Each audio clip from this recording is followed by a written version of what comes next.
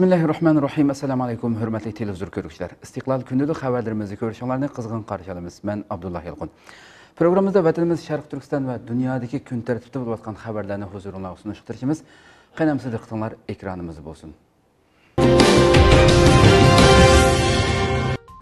Avstraliya sobiq bosh ministri xitoyning sovet ittifoqidan xatarlik ekanligini bildirdi. Avstraliyaning sobiq bosh ministri kevin rud amerika bilan xitoy o'ttirisida so'g'uq munosabatlar o'rishi xavfi mavjud ekanligini tinch okean rayonining amerika xitoy to'qinishidagi asosliq nuqta ekanligini bildirdi germaniya ovozining 27 sentabrdagi xabarda bildirilishicha avstraliyaning sobiq bosh ministri kevin rud yaqinda germaniya taratqullarining ziyoratini qabul qilib avstraliya xitoy munosabati amerika xitoy so'g'uq munosabatlar urushi hindi tinch okean va tayvan bo'g'ozining bexatarlik vaziyati qatorliq masalalarga bo'lgan ko'z qarashini o'ttirg'a qo'ygan. 2007 va 2013 yillari ikki qatim avstraliyaning tashqi ishlar ministri bo'lgan kevin rodning qarashicha amerika bilan xitoy o'tirsida yangi so'g'uq munosabatlar urushining yuz berishi mumkin bo'lib qolmay yana ehtimolligi yuqori ekan. Amerika uchun aytganda xitoy navbatda sovet ittifoqiga qaraganda texmu xatarlik raqib ekan. Оның білдірішчә Қытай стратегелік қораллар сәвиесіде ядро қайтырымы зәріп беріш иқтидарыға иге болғандың сұрт, бүгінгі Асиядегі Америка білін Қытайның Әрбе иқтисади ва техника сахалардегі тіркіші ilgiriki soğuq münasibətlər өріші məzgiliga qaraganda murakkab ekan bildirilishcha yangi hindi tinch okean bexatarlik ittifoqi aukus ramkisi ostida angliya bilan amerika avstraliyaning yadro energiyalik suosti paraxodi qurishiga yordam berish plani xalqaroning diqqatini qo'zg'agan sobiq bosh ministr kevin rud bu turga gumon bilan qaraydiganligini o'tirg'a qo'yib bu qarorning strategiyalik mantiqisiga toza qanoat hosil qilolmadim degan. Uning ko'rsatishicha avstraliyaning o'zining puhraviy yadro sanoati yo'q ekan. Agar yangi suvosti paraxotini amerika qo'g'dashga ehtiyojli bo'lsa undaqda bu suvosti paraxotining shakllanishi amerika dengiz armiyasining harakat qismiga aylanishi kerak ekan. Yaqinqi mazgillarda yevropa davlatlari hindi tinch okean rayonidagi mavjudligini kuchaytirishga boshlagan bo'lib angliya va fransiyadan keyin germaniyami bu rayonga urush paraxoti avatgan. Kevin rudning qarashicha g'arb davlatlari xitoyning qad ko'tarishi elib kelgan xiristlarga taqobil turish uchun o'rtaq harbiy diplomatik va iqtisodiy strategiyani taraqqiy qildirishi kerak ekan. Kevin rud yana unumli qorovul mexanizmi o'rnatib amerika xitoy munosabatining kontrolligini yo'qotishning oldini olish o'zaro qabul qilishga bo'ladigan strategiyalik ramkini bekitib krizis to'qinish hatto urush portlashning oldini olish kerakligini ta'kidlagan.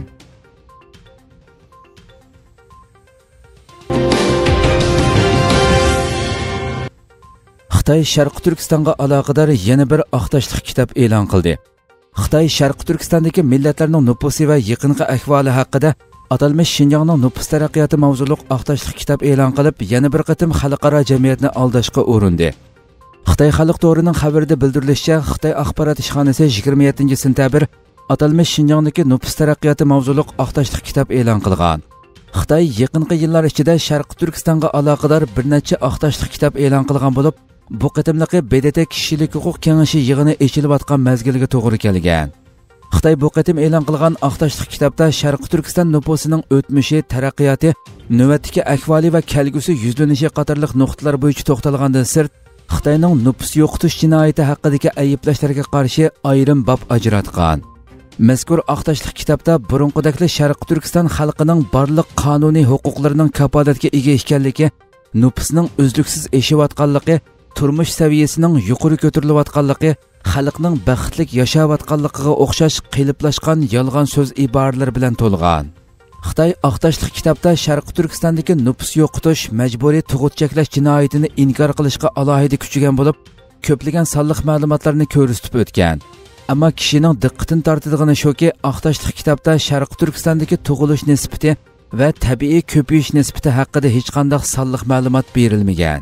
Halbuki Avstraliya strategiyalik siyosat tadqiqot markazi ASPI bu yil may oyida yangi dokulat e'lon qilib, Xitoyning nupus cheklash siyosati sababli Sharq Turkistondagi Uyg'ur qatorliq millatlarning tug'ilish nisbatining yaqinqi bir necha yil ichida shiddat bilan tovanliganligini oshkorlagan edi. Va mutaxassislar 70 necha yildan buyon ma'lum rayonning tug'ilish nisbatida bundaq misli ko'rilmagan darajada tuvanlash ahvoli ko'rilmaganligini buning suriyadagi ichki urush rivanda va kambodja irqiy qirg'inchiligi mazgildagi nupus tuvanlashdimi eshib ketganligini o'tirg'a qo'ygan edi. Xitoy oqtoshli kitobda yana uyg'urlarning nupusining 70 yil burunqiga selishtirganda zo'r darajada ko'payganligini o'tirg'a qo'ygan bo'lsimi ammo xitoy oqqullari egillagan nisbatning hassilab eshib sharqi turkiston nupusining yerimini egillaganligidek reallikni tilga elishdan o'zini qochirgan. Oqtoshliq kitobda yana xitoyning sharqi turkistondagi majburiy amgakka selish bolalarni oilasidan ayirib etib bolalar lageriga qamash majburiy tug'mas qilib etish milliy madaniyatni yo'qotish qatorliq jinoyatlarni butunlay inkor qilgan. Xitoy rejimi bu qatimmi yolg'on sonliq ma'lumotlar orqali ko'z bo'yashga uringan bo'lib bundan ilgari mutaxassislar xitoyning sonliq ma'lumotlarini burmilab tushuntirish yoshirish orqali ko'zbo'yamchilik qilishga uringanligini ko'p qatim tanqid qilgan edi. Kuzatuvchilar xitoyning sharqi turkistonda ijro qilayotgan terror siyosati sababli xalqaro jamiyatda qattiq besimga duch kelganligini yaqindan beri soxta tashviqotini texmo kuchaytib jinoyatlarni yoshirishga inkor qilishga uringanligini bu oqtoshliq kitob orqali xalqaro jamiyatning ko'zini bo'yash maqsadiga yetolmaydiganligini bildirishmoqda.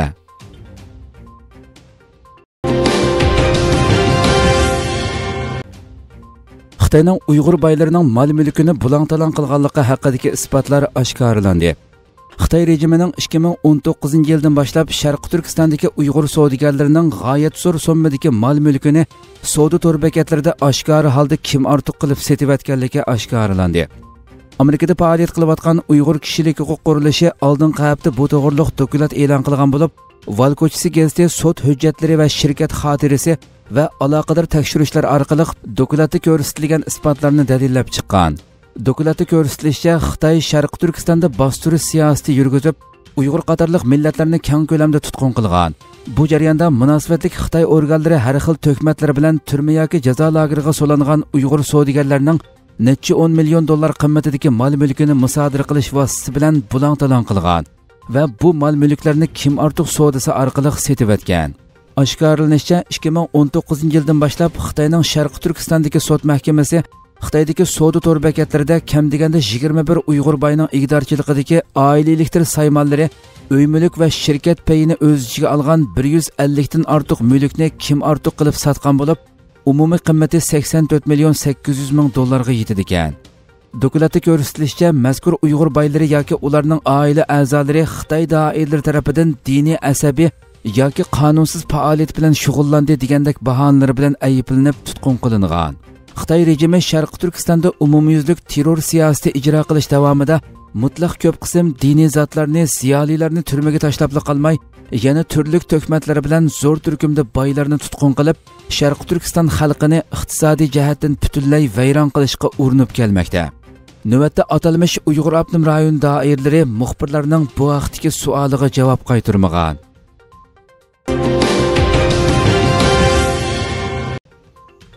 xitoy kishilik huquq masalasidagi tanqidlarga nomussizlarcha inkos bildirdi.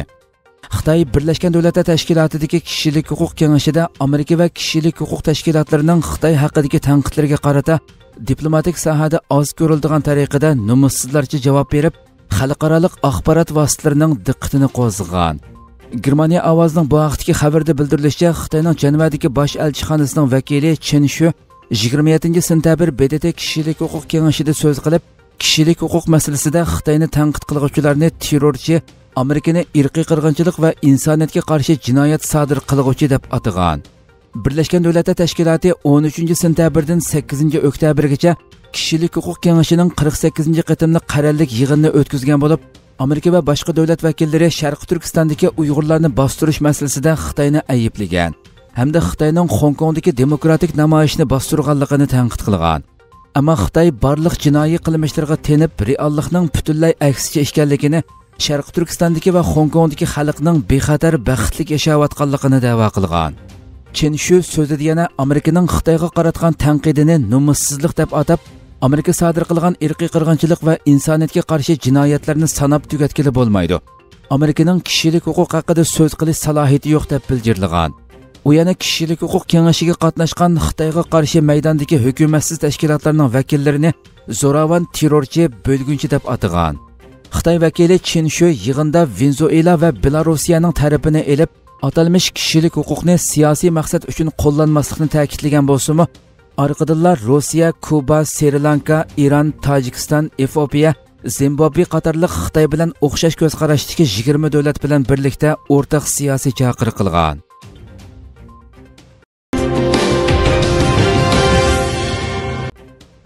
fransiya bdt xavfsizlik kengashining kengaytirilishini qo'llaydiganligini uqtirdi turkiya ovozi radiosining xabarida bildirilishicha fransiya tashqi ishlar ministrligi bayonotchisi agnes von muxbirning turkiya prezidenti rajab tayyib erdog'an bdt a'zolarining huquq doirasini kengaytirish bdtning besh doimiy a'zosini bulung'i qistash maqsadlik bir yo'l xaritasining borligini e'lon qildi.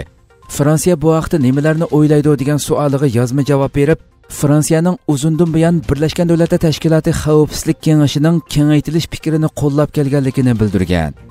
U so'zida fransiya uzundan buyon bdtning kengaytirilishini qo'llab keldi.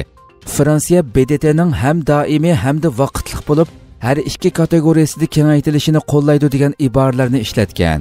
Shundoqli fransiyaning germaniya braziliya hindiston va yaponiyaning bdt xavfsizlik kengashining doimiy a'zoligi bilan afrika davlatlarining doimiy va vaqtliq a'zolar ichidagi salmoqini oshirishni qo'llaydiganligini bildirgan.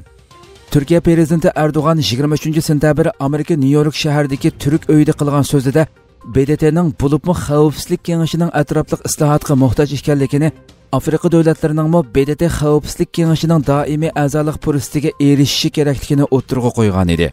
Növbəti BDT-nin xəvfsizlik kengəşi Amerika, Қытай, Rusiya, Angliya və Fransiyadan ibarət 5 daimi heyətdən təşkillənən болып, xalqaralıq qərarların yönəlişini belgiləb.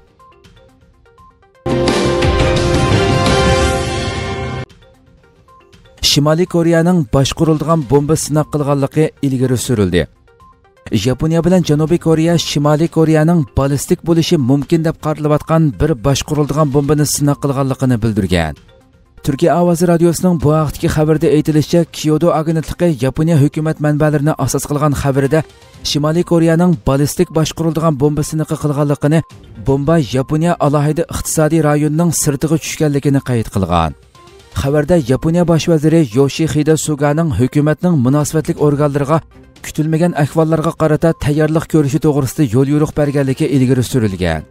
Yonhab agentligining janubiy koreya armiyasi bosh qo'mondonlik shtabining bayonotiga asosan bergan xabarida shimoliy koreyaning noma'lum bir boshqurilgan bombani davlatning sharqi dengiz qirg'iqiga quyib berganligi shimoliy koreyaning mushu oy ichida ikkinchi qatim ballistik boshqariladigan bomba sinab qilganligi qayd qilingan. 9 ayning 15 kuni qo'yib berilgan ikki ballistik boshqurilgan bomba Yaponiyaning alohida iqtisodiy rayoniga tushgan edi.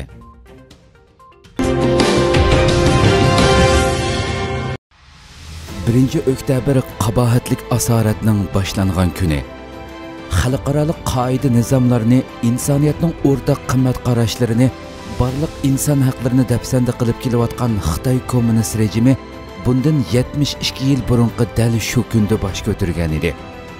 Mana bu 72 yil jarayonida xitoy kommunist rejimi sharq turkiston xalqining e'tiqodini madaniyatini til yiziqini cheklab butunlay vayron qilishga urinib keldi. Hisobsiz boyliqlarni bulang talon qildi. Majburiy nupus cheklab zo'r turkumdagi xitoylarni ko'chirib yerlashtirdi. Barin inqilobi g'ulji qatliami urumchi qatliami qatorliq sonsizlagan fojialarda millionlagan sharqi turkiston xalqi qirg'in qilindi. Oxirida buningimi qanoat qilmagan xitoy fashist rejimi sharqi turkiston xalqini butunlay yo'qotish maqsadida kang ko'lamda jazo lagerlariga qamab uchuq oshkori irqiy qirg'inchilik yurgizmoqda. Uchuq suhbat programmamizning birinchi oktyabr asoratning boshlanishi va bugungacha davomlashayotgan dahshatlik jinoyatlar mavzuliq alohida sonida kamina abdulloh yolqinning riyosatchiligida sharqi turkiston o'limalar birligi muavin raisi ustoz sirojiddin azizi uyg'ur tadqiqot instituti raisi va strategiya mutaxassisi doktor arkin akram yaponiya kagoshima xalqaro universiteti o'qituvchisi doktor hoji qutlug' qodiri sharq turkiston inson haqlari ko'zitish jamiyati bosh kotibi nuriddin izbasar qatorliq mehmonlar bilan xitoy kommunistlari vatanimizni qandoq ishg'ol qildi? Xalqimiz bu tuyuq yo'lga kimlar tarafidan kirgizildi? Ishg'oliyatdan keyin xitoy rejimining vatanimizda sodir qilgan asosliq jinoyatlari qaysilar? Xalqimiz xitoyning turli jinoyatlariga qarshi qandoq kurash qildi? Tarixdan qandoq ibrat olamiz va hammadan muhimi asorat zangiridan qutulish uchun zodi nima qilishimiz kerak qatorliq nuqtalar asosida tafsiliy suhbat o'tkazamiz. Ko'rurmanlarimizni 30 sentabr payshanba istanbul vaqti soat 18 da istiqlol televiziyasining youtube va facebook ekranlarida kutamiz. Programmamizni vaqtida ko'rishni va boshqalarga tavsiya qilishni unutmang. Hurmatli televizor ko'ruvchilar shuna qilib bugungi xabarlarimiz mushu yerda oxirlashdi. Atigi xabarimizni ko'rishgacha sizlarni janobiy allohga topshiramiz. Shuna qilib programma oxirida ekran orqasidagi barliq xizmatdoshlarimga ko'pdan ko'p rahmat aytaman. Assalomu alaykum